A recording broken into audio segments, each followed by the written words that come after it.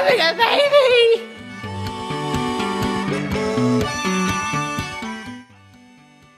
Alright, g'day party people, welcome all you WBC youthers. Um, I'm at home today, forgot my power cord, so video blog coming at you from my living room. Welcome.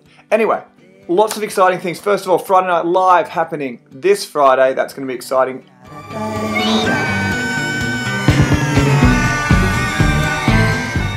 Mitch bringing the word. It's going to be really good. He's going to be preaching. We're going to have our worship. We're going to have crazy games, have a lot of fun, get to know God, make sure He's glorified. It's going to be a fun time. Hope to see you there. That's happening this Friday from 7 till 9. But today, I wanted to share something um, with you, something pretty quick, just a little devotional thought. Now, this is something I talk about a, a fair bit with my leaders, all right? Um, and I want to bring it today out of Matthew 21, Matthew chapter 21. Jesus tells a story.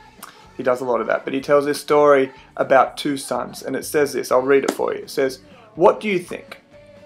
There was a man who had two sons. He went to the first and he said, Son, go and work today in the vineyard. And the son, probably a teenager, says, I'm not going to go work in the vineyard. No way. Get out.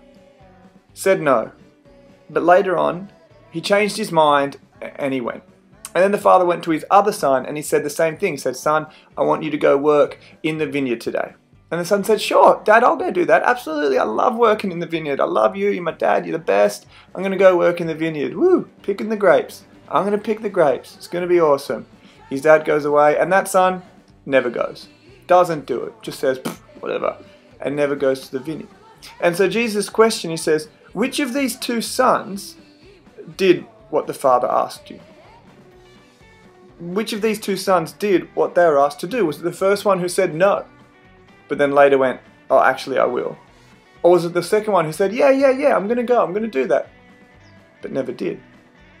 And naturally, they said the first. And Jesus says, you're right. He says, Truly I tell you, the tax collectors and the prostitutes, they are entering the kingdom of heaven ahead of all of you. He's talking to the Pharisees and the Sadducees. John came to you people, but you rejected him.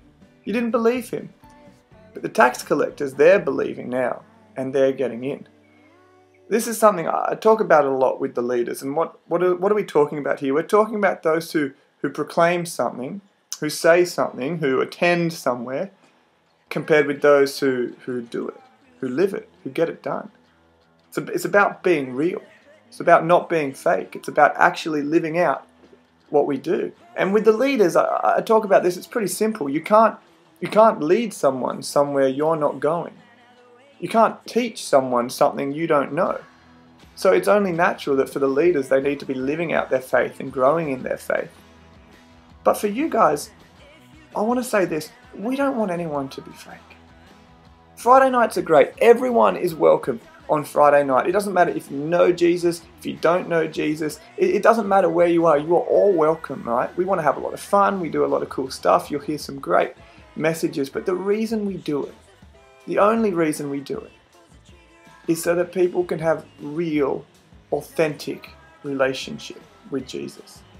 It's all about being real. The fun and the games and everything we do on Friday, the singing, the dancing, the worship, it's all good, but it doesn't make you a follower of Jesus.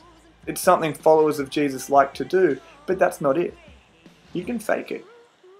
You can fake it on Friday night. That's not real, authentic relationship.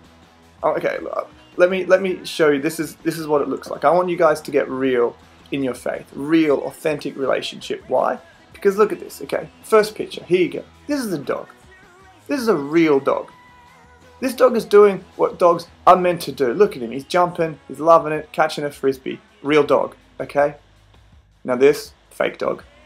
Look at it. I, a, ugliest dog the world's ever seen. B, I don't know what that dog's doing. He's wearing clothes. He doesn't need to be. He's clearly, you know, not enjoying himself. Look at his face. Not good. See? But okay, let's make humans. Humans are good. Let's go this. This is real happiness. Look at these guys. Real happiness. They're, they're loving it. Chucking leaves around. These kids are happy. Next picture, fake happy. He's trying, but that's fake happy. You just can't do it. This next one, real food. Look at this. Yum. Yum all good.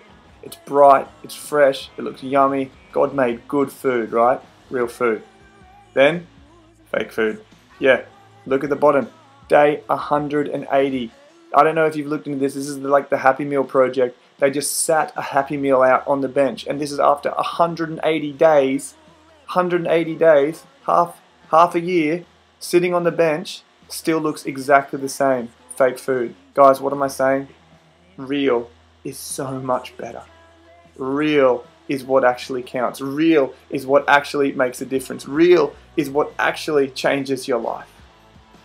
So I encourage you guys, don't fake it. Come completely honest on Friday nights. But know that every person who comes, we're going to try and introduce you to Jesus and help you grow into a real and authentic relationship with Him. One more thing, hopefully, our Harlem Shake from last week will be up today. Keep your eyes out for it. Check on the website to see if it's there. Peace.